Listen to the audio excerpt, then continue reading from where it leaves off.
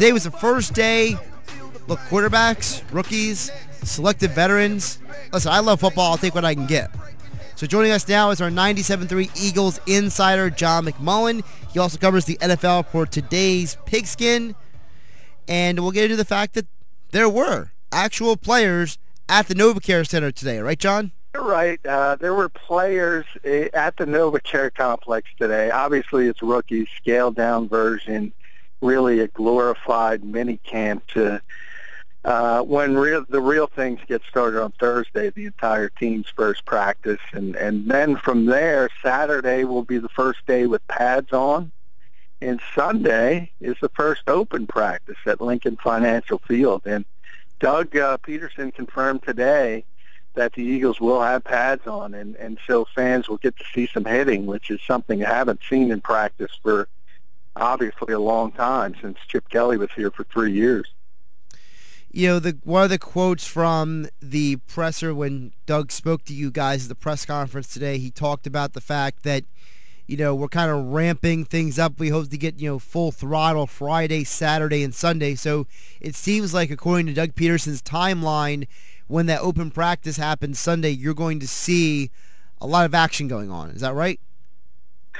Yeah, you're going to see him. As I said, you're going to see him in pads, and and you're going to see some hitting. We'll see how much, but uh, Chip Kelly did not believe in that. Uh, did not want his players uh, risking injury in that type of format and that type of situation. So uh, it's going to be a change, and and you can see the the theory from both sides. Uh, I, as an old school guy, I kind of lean towards Doug's thought process, and I, I think you need to get used to the hitting. Uh, but obviously, if guys are are going full bore, uh, there is more of a chance for an injury. So we'll see how things shake out, but uh, it's certainly more traditional NFL environment than it, what it has been over the past three years, and it really is in a lot of ways back to the future with the Andy Reid regime uh, things have gone back sort of to that mentality, and we'll we'll see how it how it shakes out as camp prog- progresses. But this is a perfect example. Chip didn't do this. He didn't bring in the rookies. Everybody reported at once. So uh, the fact that you have the the quarterbacks and, and the rookies together and selected veterans, basically guys who uh, are rehabilitating injuries, they get a little head start and and then things will gear up for real on on Thursday.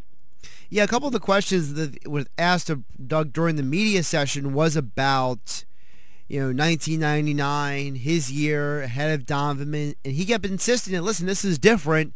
Sam Bradford's our starter. Carson Wentz is basically going to redshirt for at least the first half of the season. Chase Daniels the backup. So, do you think that we will see a full season with that plan that Doug keeps repeating, or is he just saying that to keep the media at bay?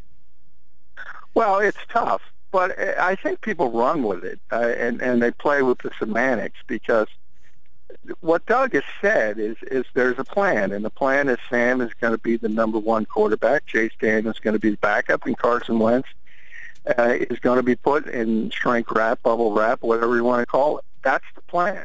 But as we all know, we all have plans in life, and sometimes life doesn't care about your plans and things happen.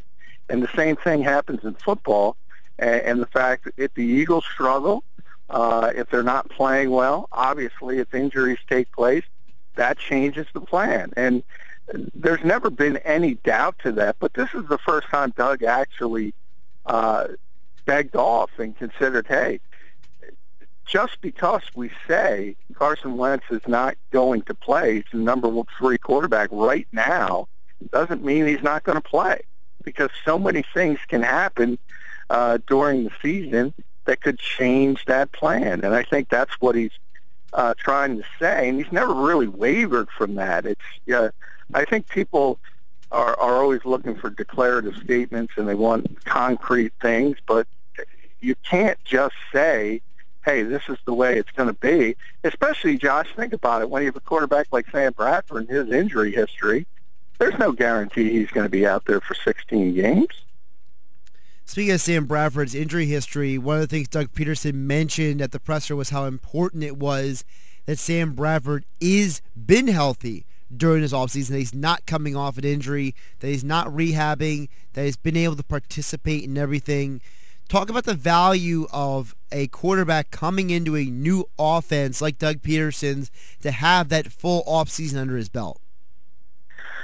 Well, it's big for Sam, uh, no matter what offense, because seemingly throughout his career, he's he's in a new offense every year every two years at best. But so he's used to it, and he's played this style of offense in the past. So while it's a change from last year, he, he certainly has experience doing it. But uh, the fact that he's been healthy, and this is really the first time in two years he's had an off season, uh, so that it bodes well for him because he didn't have an opportunity to prepare uh, during the spring last year and even deep into the summer, really. Uh, if you think about training camp last year, he wasn't uh, a full go at the beginning of camp. He was still struggling and, and still trying to get back from the second ACL tear. So he's he's much healthier. He said today he's gained uh, a couple pounds. He's 219, and he, that's what he wants to play at. He's generally played at about 212 or somewhere in that range. So he's bigger, he's stronger.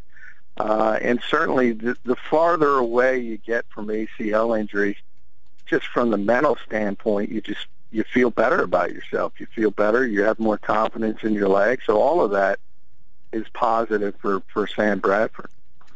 We're talking with John McMullen, our 97.3 ESPN Eagles insider. He also covers the NFL for today's pigskin. John, looking at who who exactly reported today of the selected veterans, because we've been hearing that term, you know, leading up to this. So who were among the selected veterans who actually appeared? Uh, Nolan Carroll was there, coming off obviously an injury. JaCorey Shepherd was there, second year corner, coming off the torn ACL. Cody Parkey was there, the kicker, coming off the core injury. Travis Long, who as this will be his fourth training camp with the Eagles. The poor guy, he's never played in a, a regular season game. He's had two consecutive ACL, so he was there.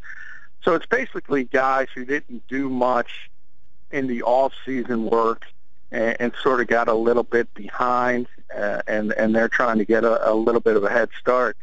The biggest name there, the key is Nolan Carroll because I, I think this team looks at him as a potential, and, and more than potential, the probable starter at cornerback opposite Leodis McKelvin. So uh, he's finally 100% ready to go, and that, that would be the biggest name uh, that people should look at that was there early. Uh, one of the things that Doug Pederson was asked about as well was the cornerbacks. You know, you mentioned Shepherd, you mentioned Carroll.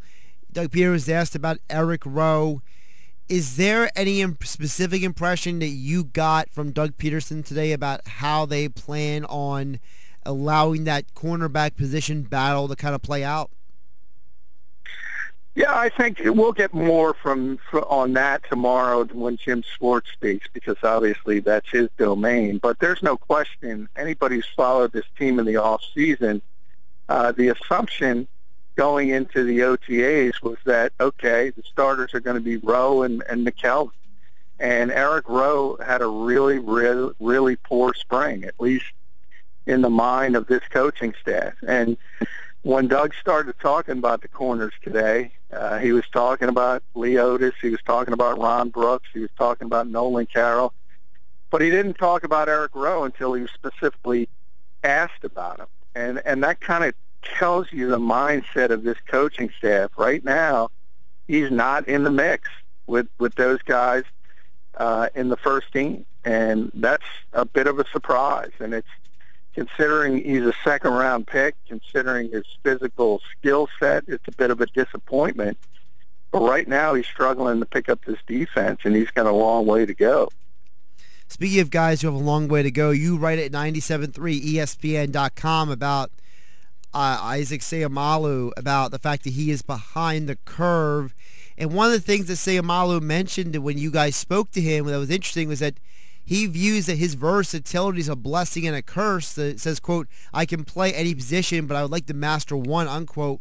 You know, talk about your impressions of Seumalo, because this is basically, isn't this the first time that we've really seen him at the NovaCare Center? Yeah, the first time since the rookie minicamp. So uh, all the rookies get to go to minicamp after the draft, and then right. uh, he's on the quarter system. Uh, and those specific schools, NFL graduation rule, they're not allowed to be in off-season work.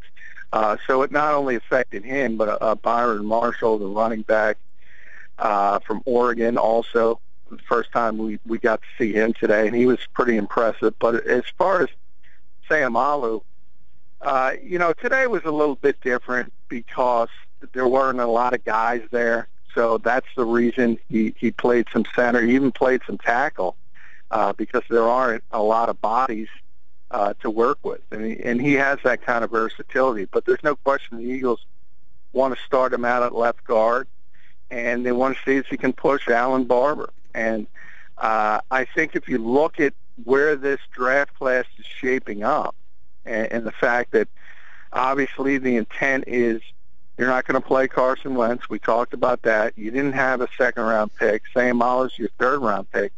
At some point, ego enters into it, and I think uh, the Eagles are going to give him every opportunity to win that left guard spot because they want to prove they got something out of this draft quickly. That may be not necessarily the best way to build your football team. I agree with that, but they like him as a player. And even though he's behind the eight ball, I think he's going to be given every opportunity, even though Doug Pederson said it's Allen Barbre's job to lose. You mentioned the fact that when you saw Marshall out there, he looked impressive. What other players that were out on the field today that you saw in different drills and things looked impressive? Well, remember today was again the the majority of the players weren't there, and certainly big names weren't there opposite the quarterback. So the guys who stood out to me would be Marshall on offense, who just shows a natural ability to catch the ball out of the backfield, and that's very important. Remember, he played receiver at, at Oregon, then shifted to running back, so he can do both.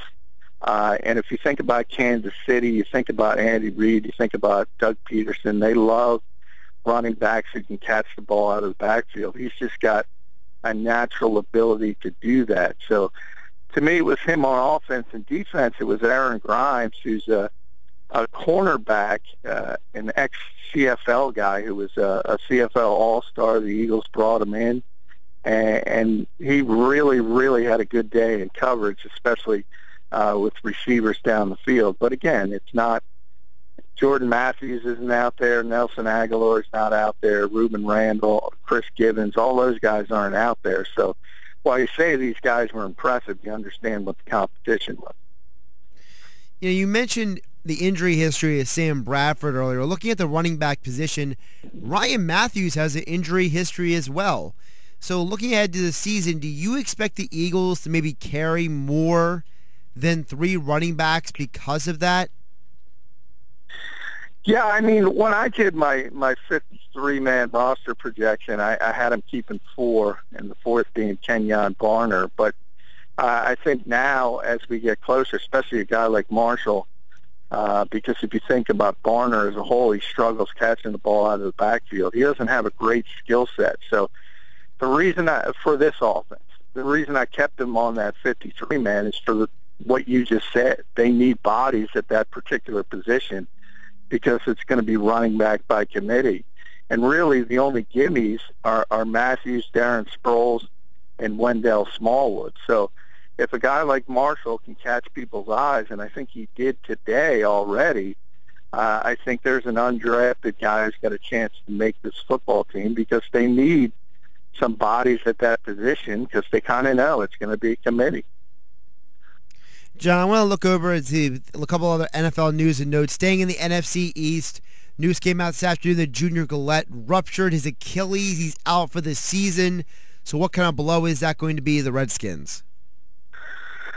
Uh, it's a huge blow uh, for both. I mean, personally, obviously, two straight years, and Achilles are, are just such a devastating injury. I, I, I think it's conceivable we'll never see uh, Junior Galette play football again uh, to go through that injury two consecutive years.